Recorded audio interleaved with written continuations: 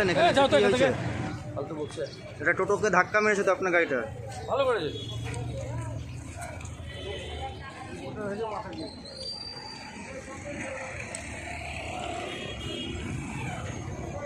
লকডাউনে আইনজীবীর গাড়ির ধাক্কায় গুরুতর জখম টোটো চালক সহ দুই।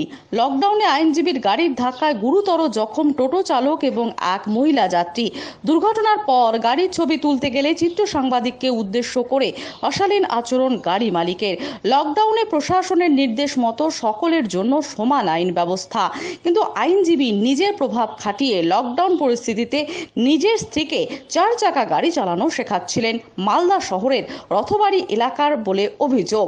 বুধবার সকালে গাড়ি চালানো শিখতে গিয়ে একটি টোটোর পেছনে ধাক্কা মারে গাড়িটি। ঘটনাটি ঘটে মালদা শহরের রথবাড়ি এলাকার চৌত্রিশ নম্বর জাতীয় সড়কে। গুরুতর জখম হয় টোটো চালক এবং এক মহিলা যাত্রী।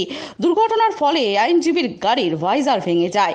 এরপরে দুর্ঘটনার ছবি তুলতে গেলে অশালীন আচরণ শুরু করেন আইনজীবী। উল্টে ক্যামেরার সামনে ওই আইনজীবী বলেন, যা করেছেন, ভালো করেছেন।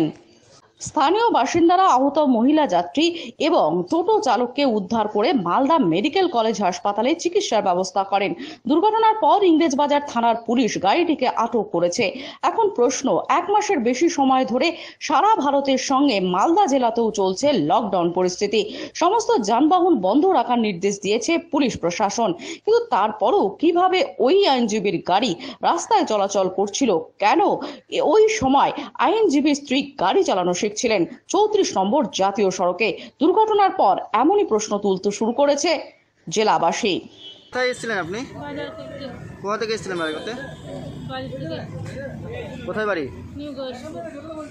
কি হয়েছে? গাড়ি থেকে আসছি আর ট্যাক্সি গাড়ি দিল একটা ট্যাক্সি এসে মেরে দিল রং সাইড দিয়ে আসলেন কি না না আমরা ওই ওই রং করে দিল। ও তো বুঝবে না নাকি?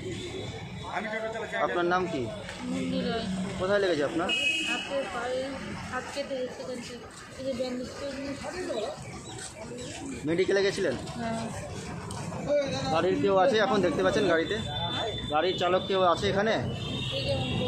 না যে গাড়ি আপনাকে ধাক্কা মেরেছে সেই গাড়ি কেউ আছে। চিনতে পেরেছেন কাউকে? কে চালাচ্ছিল? কোনো মহিলা? না সকালবেলা কোথা থেকে এসেছিলেন বাজার করতে? আমরা সকালবেলা বাজার বাড়ি থেকে আসলাম।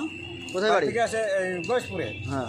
আসার সাথে বাজার টাজার করলাম এখানে বাজার টাজার করে টেরে আমরা উঠলাম উঠে টুটে এখন বেরলাম আর গাড়িটা আসতেছে এই সাইডে আর বাস আমি এখানে দাঁড়িয়ে আছি আসে ডাইরেক্ট গাড়িটা আমাকেই মেরে দিল। আমি ওর রং যদি ব্রেক ফেল না হয় তাহলে ও ব্রেক করতো। ব্রেক করল না কেন? আমি এসে ব্রেক করে আছি ওই ব্রেক করল না। ডাইরেক্ট আসে মেরে দিল। নিচু ও গাড়ি চালাতেই জানে না। কে চালাচ্ছিল? কোনো মহিলা? মহিলা চালাইছিল না কি গাড়িটা?